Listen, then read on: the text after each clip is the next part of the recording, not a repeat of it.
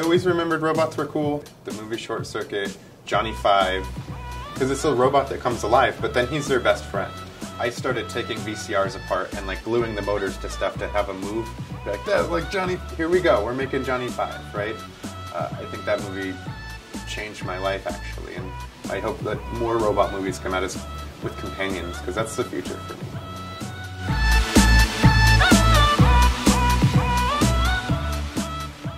Twofold. We want to choose if it's cool or if it makes financial sense. One thing that we've been approached with by Disney was making some of the droids from the Star Wars franchise. So BB-8, BB-9E, R2-D2, and R2-Q5 actually. So there's these set of droids that we were sort of tasked with bringing to life. BB-9E is this new kind of BB-8 droid, and then the cool thing about our BB-9E is we've invented this new induction technology to pass electro- electricity up into the head and light the eye up as it's driving. It's really cool. So it's a little black and silver robot with a light up red eye. Um, kind of scary, but it's definitely part of the dark side.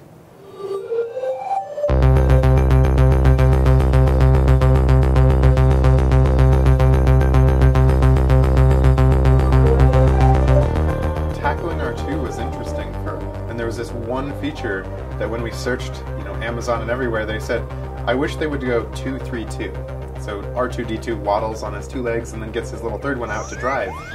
No toy or robot version has ever really done that except for the super high order ones that the Droid Builders Club do. And so we were like, we should do that for a for the miniature one. We've built these tools internally to do that, to animate these robots so they look just perfect. We like making. That's a big thing at Sphero. If there's something we can make that is not too time consuming, like we're not going to make a, a mail server, right? We'll use Gmail. But for the most part, if we can make it, we do make it here. Letting our employees like pitch an idea and if they're really passionate, just try it. That always worked out for us, and that's where SpaWick was born. The Sphero Product Accelerator I mean, gives the opportunity for anybody, even if you can only draw sketches, to put your idea on the roadmap here at Sphero. Because we, we noticed at the very beginning it was mostly engineers. And, and nowadays, it's actually funny, a lot of our newer ideas are driven by the moms at our company because that's who's oftentimes buying the toys for the kids. And it's just a good, it's a good cycle to have.